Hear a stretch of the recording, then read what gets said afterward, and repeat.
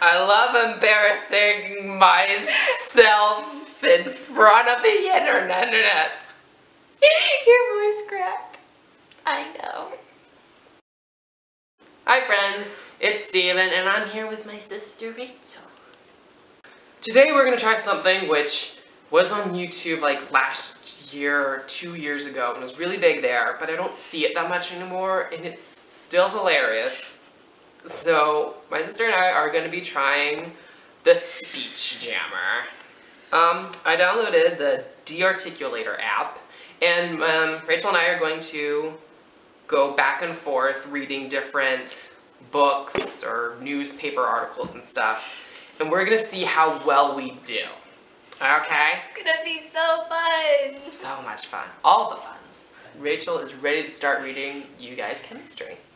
Are you ready to go? Yes. Let's do it. Examples of pure substances will include sulfur, iron, sugar, and table salt. And these, each of these substances only one element will, or com- compound exist. The first two examples are elements, thus they are made up of atoms.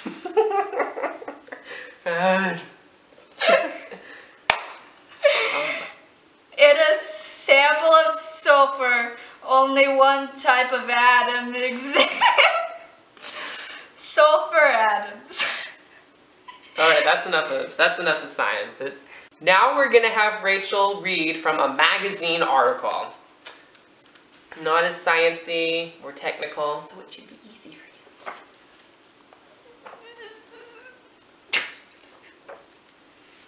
you. What? No, no, go ahead. All yours.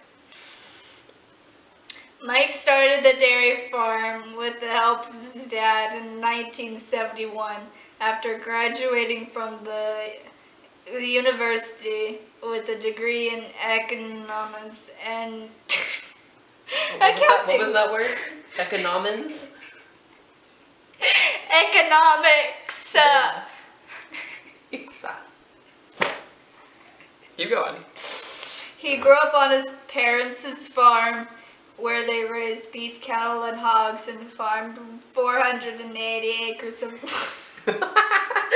488. You almost sounded Irish there for a second.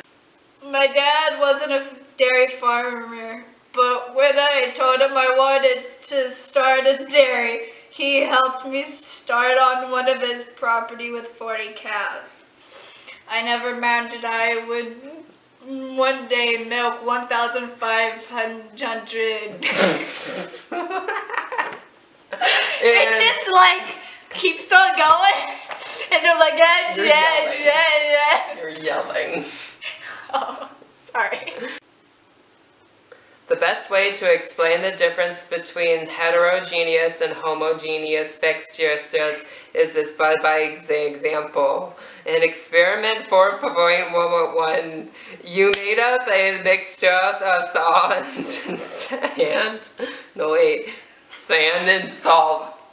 When you first dumped the sand and the salt together, it was a heterogeneous mixture.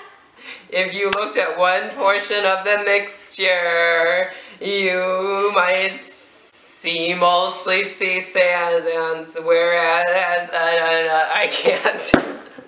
oh boy. All right, pick a passage. Pick a passage. Any passage. Pick.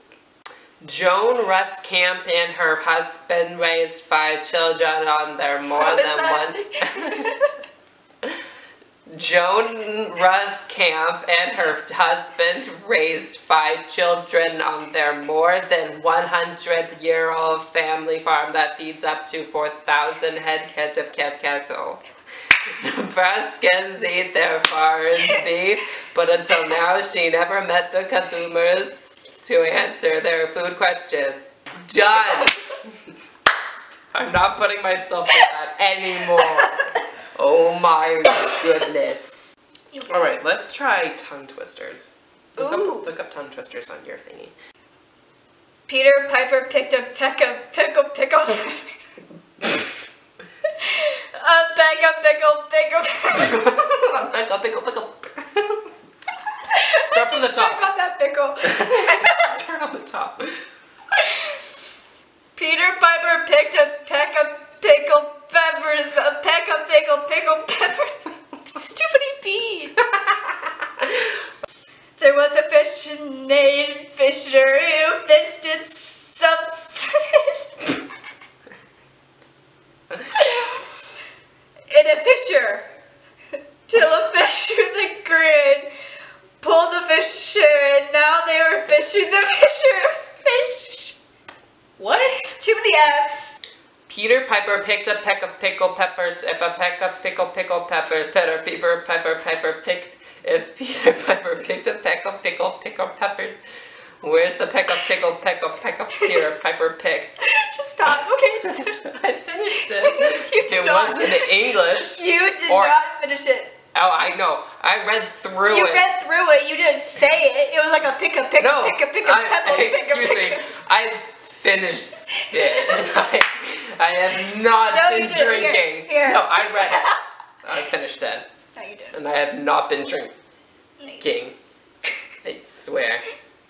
There those thousand thinkers were thinking how did the other three three T's go go through? Too much.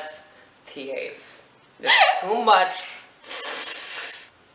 One one was a racehorse. Two two was one two one one one one the race. Wait wait. One one one one race. Two two one one one two. No. Wait. Too many numbers. One one was a racehorse. Two two was one one two. One one one no, one one one one race. Two two one one two. Thanks so much for watching our speech jammer video. I hope you had as much fun watching it as We had I- fun doing it, laughing at each other. which is what we do on a daily day basis. Daily day basis. It's Day still to a day basis. it- it's still affecting me.